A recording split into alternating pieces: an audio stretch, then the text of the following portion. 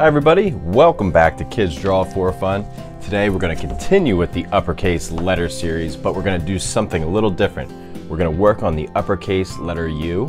However, this time I'm going to try something new on my iPad. I'm going to use an app called Procreate that I just got. It's pretty cool, and I'm not going to use it for all of them. However, I just want to try it out because I think you'll enjoy it, and I think it'll be pretty cool. So, we're going to do the uppercase U and we're gonna learn to draw a sea urchin because U is for urchin.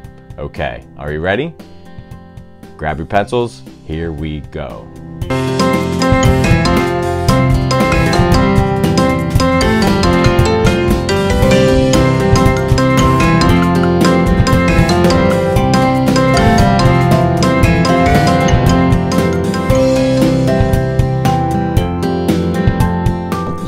To the left side here.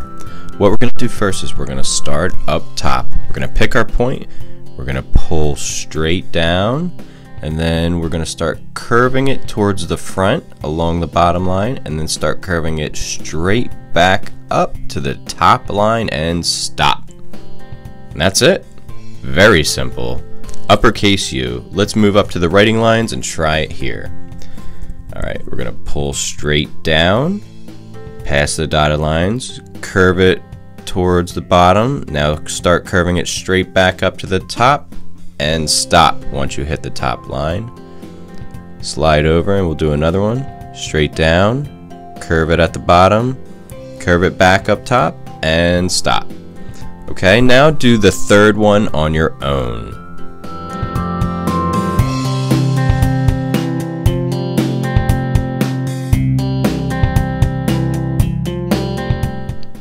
Alright, here's my third one. Pull straight down, curve it around the bottom, straight back up to the top. Okay, now let's learn to draw a sea urchin. Okay, so a sea urchin is round and it has a lot of spikes all around it, all over it. So we're just going to do some up and down zigzags going in the shape of a circle and we're going to go all the way around up down up down up down up down up down up down. And just keep going until you connect it all the way at the beginning where you started okay? Just watch as I do it and then you try. Alright so let's make this a happy sea urchin. We're gonna give it two big eyes two circles and then in those circles we'll draw smaller circles and leave a little part of it in the top corner and we'll keep that part white and then we'll color in this part black. Awesome. Here we go.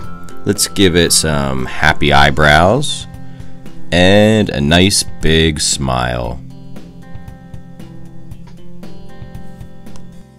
Right now it reminds me of a sunshine, but we have to add all of these little spikes all over it. We're to do up, down, up, down.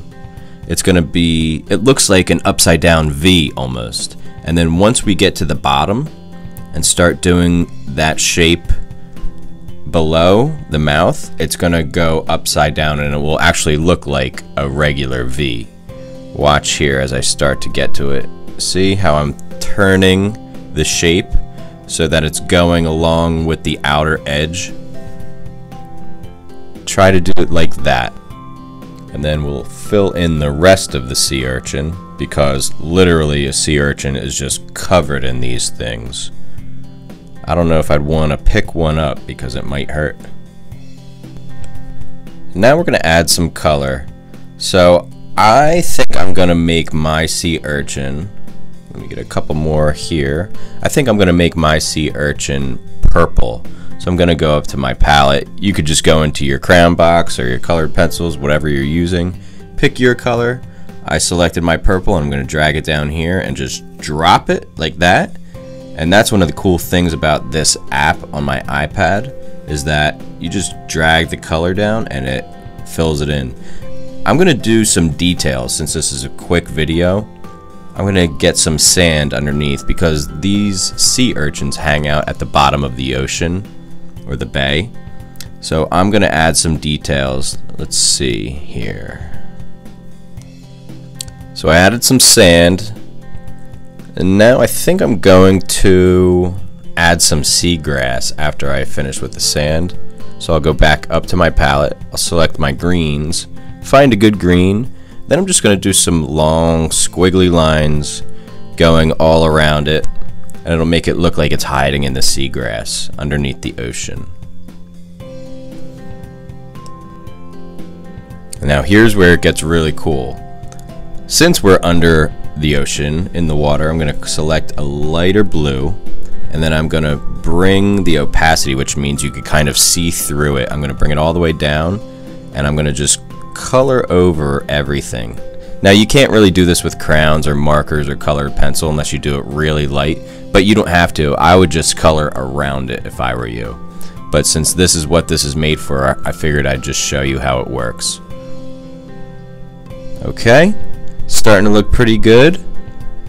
Yep, let me take a picture. And there it is. U is for sea urchin.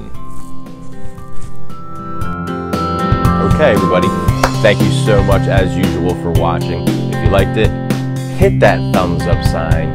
Give it a big thumbs up. Feel free to subscribe to our page below, all right? And as always, come back for more. Until then, keep drawing.